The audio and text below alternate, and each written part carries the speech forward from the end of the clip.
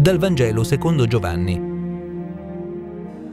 In quel tempo Gesù disse ai suoi discepoli, Io sono la vite vera e il Padre mio è l'agricoltore. Ogni tralcio che in me non porta frutto lo taglia e ogni tralcio che porta frutto lo pota perché porti più frutto. Voi siete già puri a causa della parola che vi ho annunciato. Rimanete in me e io in voi. Come il tralcio non può portare frutto da se stesso se non rimane nella vite, così neanche voi se non rimanete in me.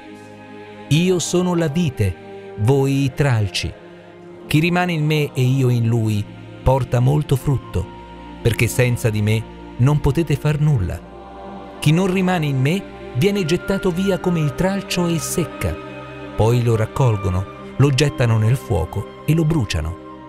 Se rimanete in me e le mie parole rimangono in voi, chiedete quello che volete e vi sarà fatto. In questo è glorificato il Padre mio, che portiate molto frutto e diventiate miei discepoli.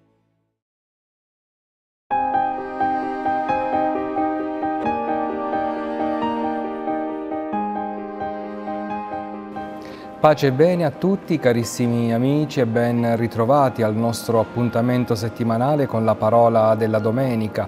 Siamo ormai giunti alla quinta domenica di Pasqua e la liturgia ci presenta una pagina del Vangelo di Giovanni molto bella, profonda e intensa.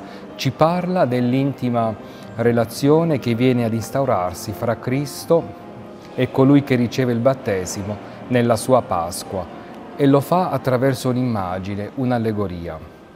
Gesù per farci comprendere questo eh, profondo mistero e quanto sia vitale questo rapporto con Lui, utilizza un'immagine mutuata proprio dal mondo agricolo. Io sono la vite vera, ascolteremo, e il Padre mio è l'agricoltore. Ogni tralcio che in me non porta frutto lo taglia, e ogni tralcio che porta frutto lo pota perché porti più frutto. Ma mm, aggiungerà anche un invito importante, rimanere in Lui perché Lui rimanga in noi.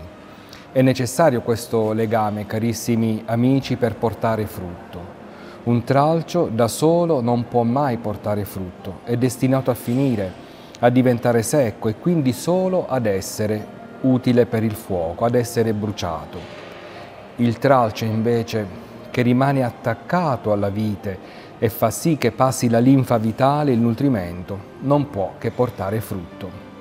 Ecco allora che Gesù si presenta oggi come la vera vite, cioè come colui che davvero può dare vita, può comunicare la vita nuova, non quella che finisce, ma quella che dura per l'eternità. Ogni cristiano, ogni battezzato allora non può che essere un tralcio legato a questa vite.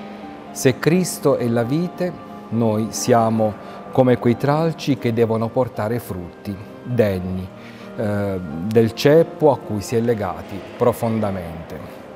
Se così non fosse saremmo solo apparentemente uniti alla vite, a Cristo, ma destinati alla fine, destinati a non portare frutto e quindi a non vivere e a non sperimentare la bellezza di quell'invito di Gesù.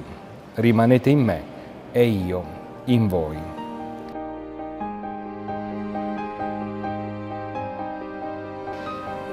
Carissimi fratelli e sorelle, il senso profondo della pagina del Vangelo eh, che ascolteremo in questa domenica risiede proprio in questo invito di Gesù a rimanere in Lui.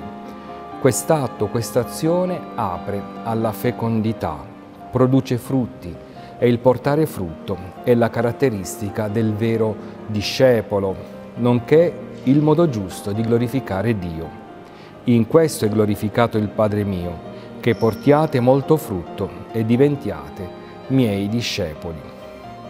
Ecco allora che essere cristiani non sarà semplicemente accettare e professare una dottrina, seguire una lista di, di norme, rispettare delle regole, ma si tratterà principalmente di rimanere uniti ad una persona, farsi discepoli di una persona, ascoltare e mettere in pratica le parole di una persona è importante per la nostra vita di fede.